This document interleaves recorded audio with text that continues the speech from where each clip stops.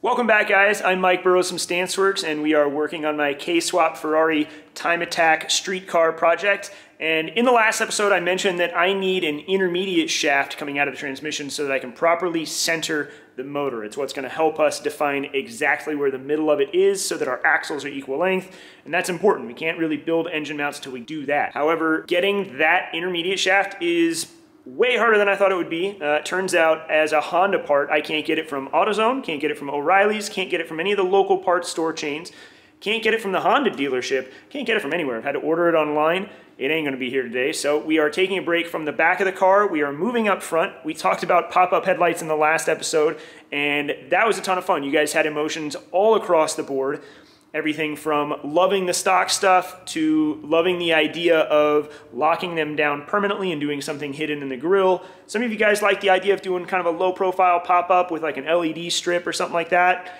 And I've made my decision. I know what I want to do. So we're going to dive into that. We've also got radiator and fuel cells to talk about.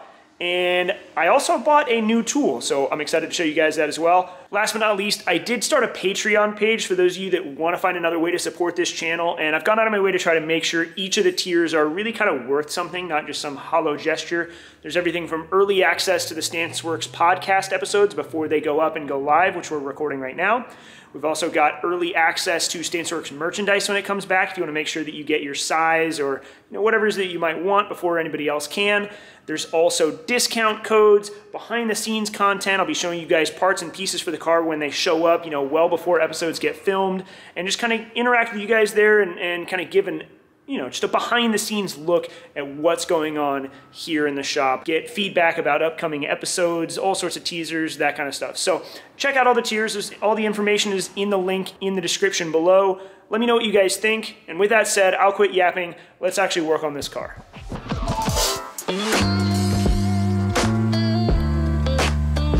I suppose it's worth explaining my overall headlight choice while you guys watch me take this thing apart.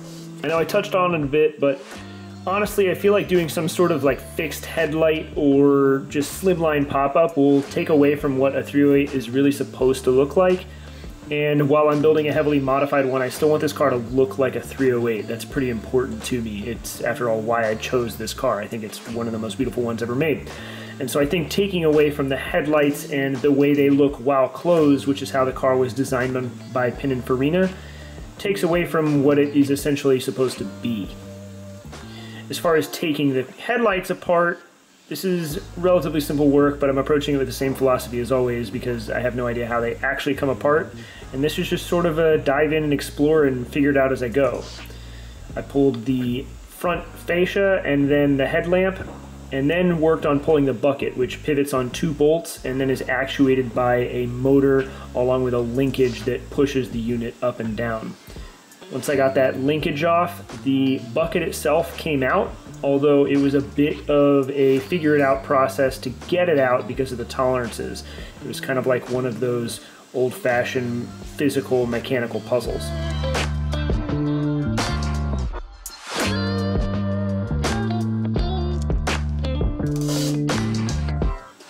Once the bucket was out, it was a matter of taking the actual brace and motor itself out. And this was really easy to do. It was just one 10 millimeter bolt on each corner.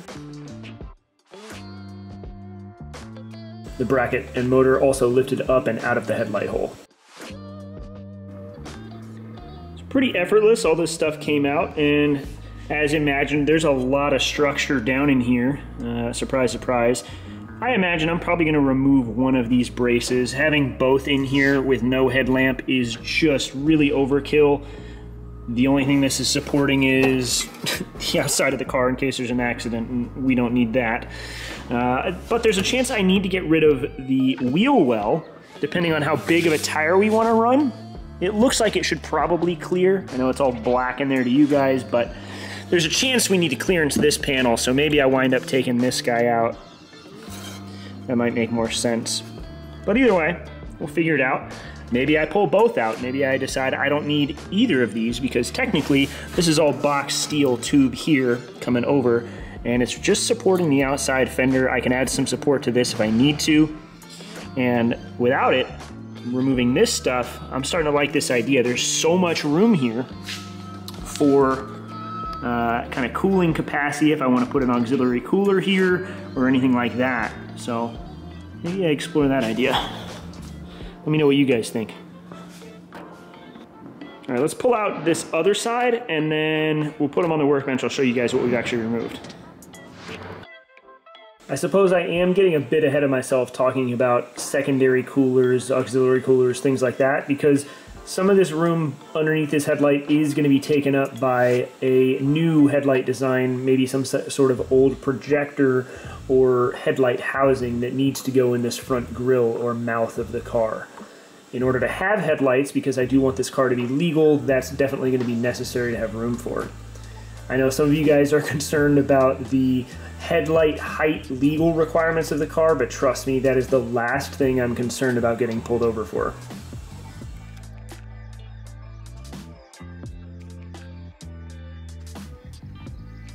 So as you guys just saw, I weighed everything and kind of have everything laid out. So we've got two of each of these components off of the car, except for the horn. There's only one of those. But in total, this stuff weighs 29 pounds. That's for both sides together, not just one. But that means we've lost about 30 pounds from the front of the car, which I'm quite happy with. That's a big chunk of weight brings us down to about, at this point, we're probably right around 1,100 pounds, probably maybe 1,120 uh, as the car sits. So I'm pretty, pretty happy with that. Uh, these headlight surrounds weren't really all that heavy. They are steel, uh, but not very heavy. The headlamps themselves, they are glass with metal housings. These things weighed a couple of pounds. The real weight is in the steel mount and the motor. Uh, this whole assembly was just shy of eight pounds per side.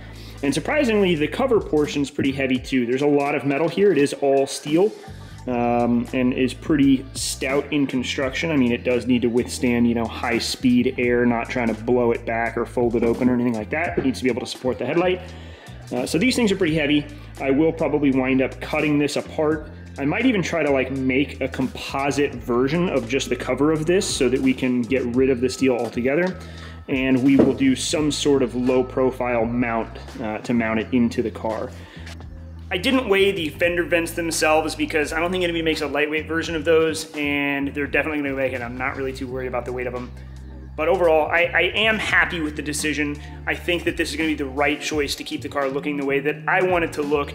I think doing some sort of, you know, other headlight solution is gonna wind up making it look like it's a Grand Theft Auto 5 you know, royalty-free version of a 308 as opposed to an actual Ferrari. Now, let's go up to the front and let's talk about radiators and fuel cells.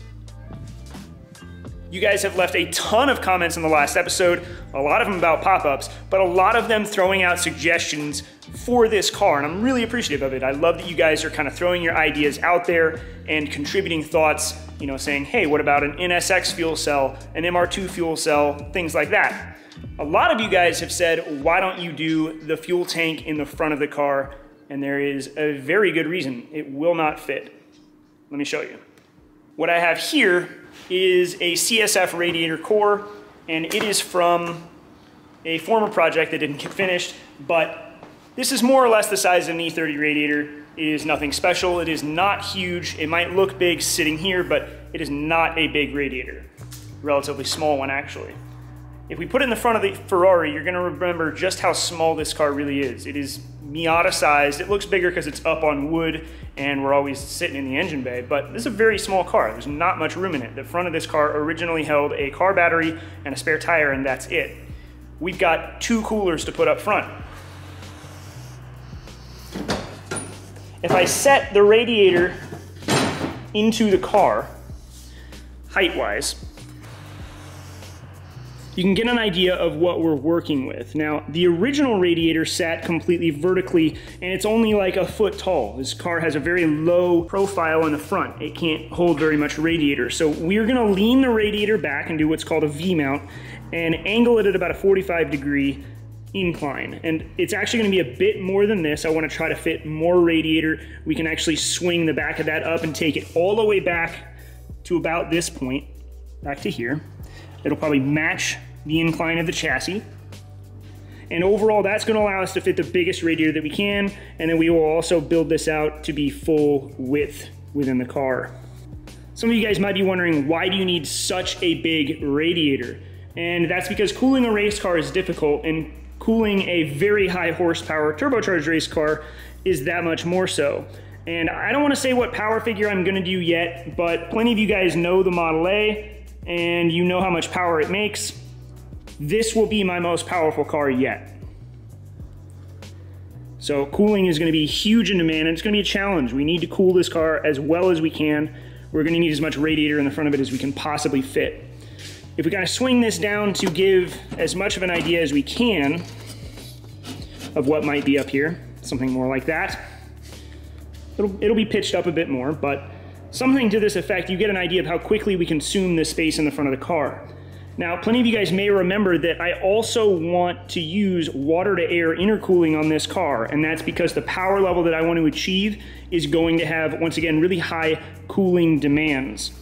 And what I want to do for that is stack a second cooler behind this, more kind of flat behind the radiator, and then have a heat extractor coming out of the hood, a hood vent. So overall, we're very quickly going to consume all available space in the front of this car, putting a fuel cell up here will not work. There's just not room for it in any regard. With that second cooler in place, you really get an idea of what's gonna happen to the front of the car. A lot of you guys have expressed fears about the dynamics of the car and wanting to get the fuel cell weight up front. And trying to condense this down so I don't wind up just talking through this entire episode, it is a backwards approach because we have removed almost all of the weight from this car from the back end. It's currently like a 70% front weight bias and we wanna make sure that we don't make the front too heavy. The problem right now is that if we put this entire car back together as it was with only an engine swap, no weight loss anywhere, it would be front heavy. And so I'm trying to be weight conscious about the front and I promise you guys, don't worry too much about it yet. All right, with that all finished, let's move on to this guy. Last week, Andrew and I went to Santa Ana and I found this thing and we recorded the whole process of unloading it from the truck with my new gantry. Check it out.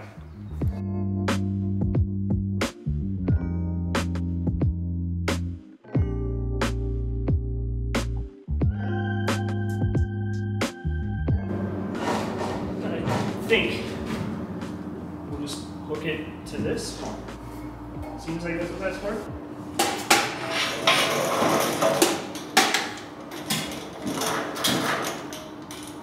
Oh, you know what?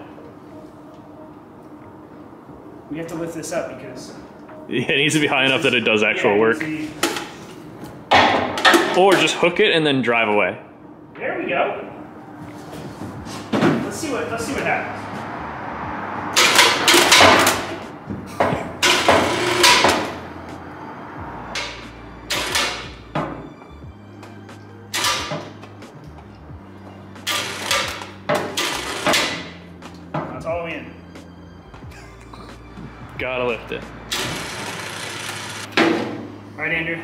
Let's crank it.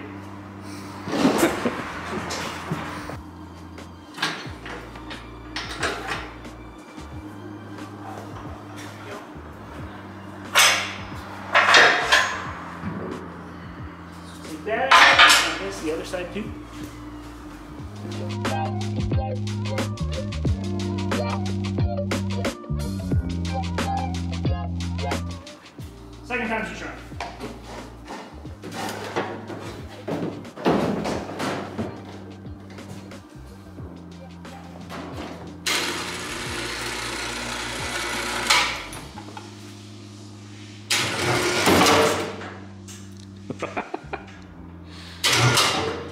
Oh shit.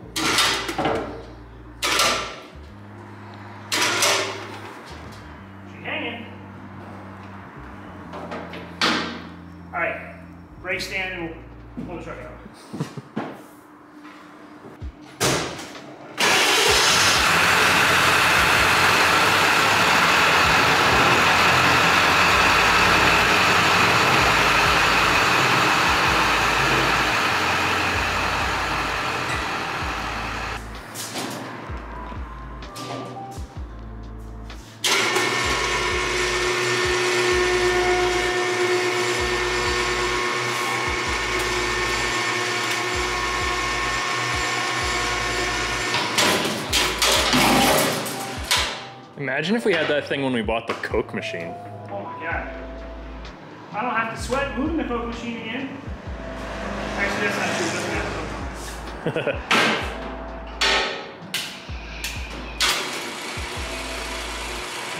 it. That was sick.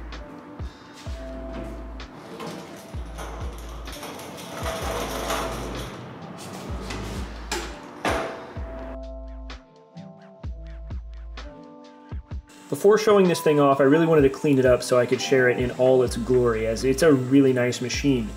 I mentioned in a previous episode that I missed having one of these, especially since Riley has taken his with him when he moved out and back north to Sacramento.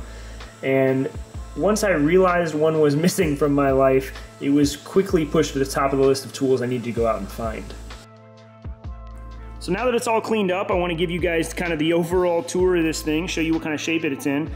It's a DY400 Sawmaster, apparently built in Nebraska. It's got the saw or the saw blade welder on it, saw blade grinder. We've got some outlets, we've got lighting, and obviously the bandsaw itself. And this thing is honestly in amazing shape. I really think that it's barely been used. It's just been pushed around a shop for most of its life. It was built in 1979. I got it for cheap because the guy that I bought it from thought it was a three-phase machine and turns out that it is just single-phase 220. It's got a pretty big two horsepower motor down here in the bottom with a four speed transmission on it. So it's got four different speeds for the blade itself. And you guys saw me wipe down the inside, but it's in amazing shape in here. I mean, this thing is just incredible. You can see why I don't think it was used very much at all. I really hardly, you know, cleaned anything out of it.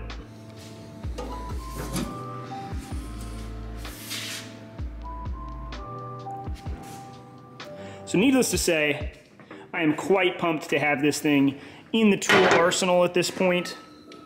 It's gonna be a great addition. This weekend I'm gonna have to uh, wire up a new plug on it and put a new outlet on the wall so we can plug it in. I did get to see it run when I bought it, but I haven't got to use it for myself yet. But with the fabrication I'm hoping to get done this weekend, we will definitely put it to work.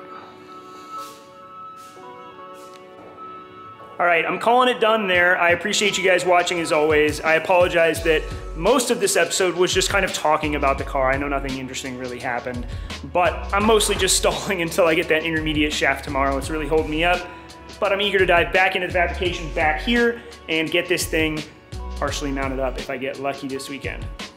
Anyways, I will catch you guys on Tuesday. On Sunday, if everything goes well, I've got a bonus episode that I recorded last weekend that I'm hoping I will post up. So keep an eye out on Sunday morning. If it pops up, you know everything went according to plan. As always, thank you. I will catch you guys on Tuesday.